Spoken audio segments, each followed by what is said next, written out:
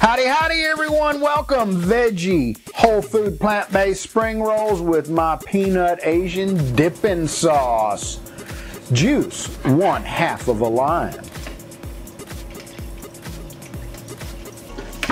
Microplane or finely chop up three fat cloves of garlic. Get you a big hunk of ginger out. Microplane that too. Next up, two big tablespoons of peanut butter, two tablespoons of sriracha hot sauce. Adjust to your taste buds' delight. Two, three, maybe four tablespoons of soy sauce. Mix it up good. All right, here's where you clean out your crisper drawer. Kale, green onion, cilantro, tempeh, jalapeno, bell pepper, carrots. Throw a little sweet fruit in there, give it a nice taste. Hey, I had some beet, threw some beet in there too. Brown rice wrapper, check the link down below. I'll show you where to buy them if you can't find them locally. Soak that bad boy in warm water for about five, six seconds.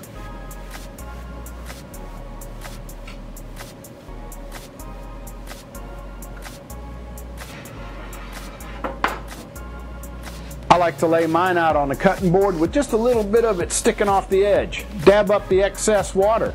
Don't want it floating in water. There you go. Fill it up the way you like it. Don't fill it too much. I kind of overfilled it. So roll it up like a burrito or a doobie, but uh, the doobie you twist the ends. These we just kind of fold them over like that.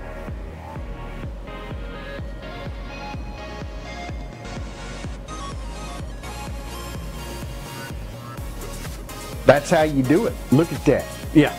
Another one. Three of them will make a quick meal. Five of them a big meal. Make it look pretty. There you go.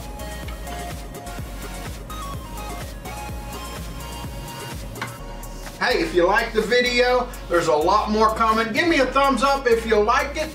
Click subscribe. A whole ton of whole food, plant-based, no oils, vegan dishes coming from my place to yours. I'm gonna thank you for watching. Y'all come back now, you hear?